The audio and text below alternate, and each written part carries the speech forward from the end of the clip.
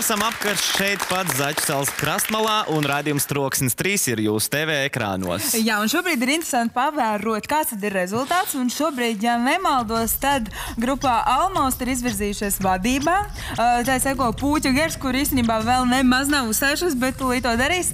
Un Snowbrown faniem ir mazliet jāsasparojas, jo nu, ir taču interesantāk, kad ir nu, visi trīs vienlīdzīgi, bet vēl nekas nav beidzies. Vēl nekas nav beidzies. Un eh, jāpiezīmē, ka šodien, Ketī, tu Nu. esi vienīgā dāma starp eh, lieliskajiem kungiem, gan Jā. kas uzstājās, gan, protams, Taisnība. šeit pat. Jā, nu, un es tev pat varētu arī. šodien nodēvēt Nu. par melno princesi. Par melno Ko? princi es jūtos kā kārtīgā roka koncertā, saproti? Bet vienīgā atšķirība, jā, ka visi puiši dzied, un, un, un, un tad es tur sēžu vidū, tādā krēslā, atgāzusies panoju. Bet, uh, jā, Nu, ko paskatīsimies apvienības uh, pūķu gars uh, vizītkarti. nu viņi nav kā puķi, nav dusmīgi, forši čaļi arī no Rīgas. Vienīgā atšķirība, ka viņi visi dzimuši puķi gadā. Jā, tas tad arī viņus vieno.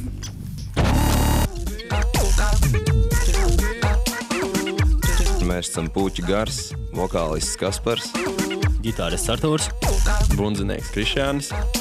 Bazitārs un backvokālists Edgars. Mēs esam uh, roka pārstāvji, kā jau nojaušat. un uh, savu mūzikas žanru mēs uh, definējam kā reflektīvo roku.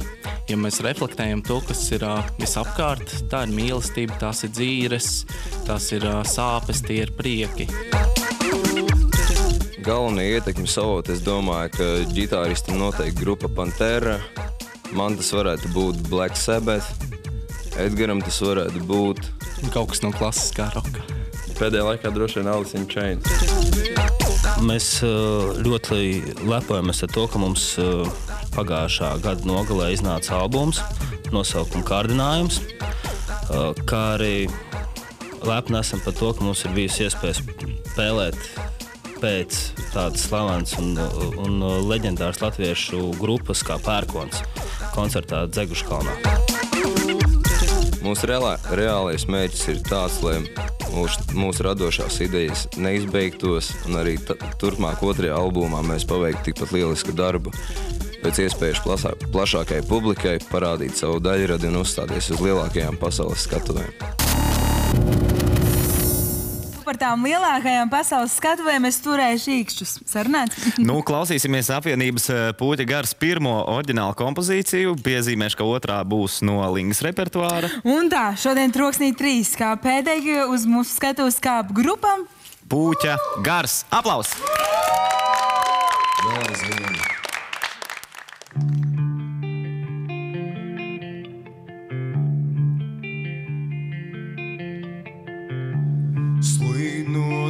debesīm, mans eņģelīs, salauztu spārnu, sagrieztām rokām, par mūsu žēlabām, no mūsu dēkām,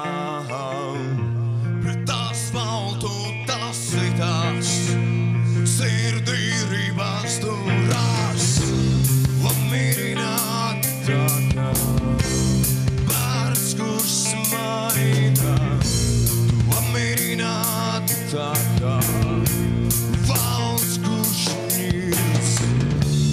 Krīt no debesīm, mana vēlmju zvaigzne. Tā uguns liesmā stītā, vēlmju piepildītā. Tā lādā jūs triecās, un augstums apceļš liesmās. Viss pārējais ir zudis,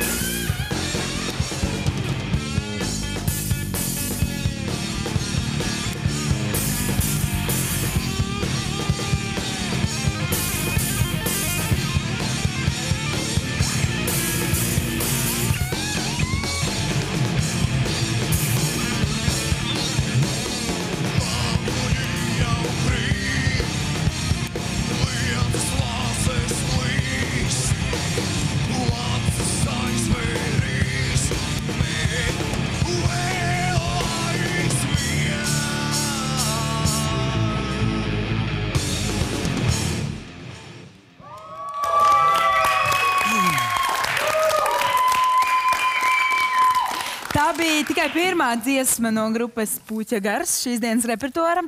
Otro dziesmu, protams, viņi izpildīs no šīs dienas žūrijas grupas repertuārā, un tā ir neviena cita kā Linga. Un atcerēsimies tālo 1994. gadu, kad uh, albumā tika iekļauta kompozīcija ar nosaukumu Spēle. To tad arī uh, apvienība Puķa Gars ir sagatavojusi kā otro. Nu, paskatīsim, kā, paskatīsimies, kādas spēlītas tad spēlēs mums šodien nevis Linga, bet Puķa Gars. Un tad jau arī paša video links komentāri.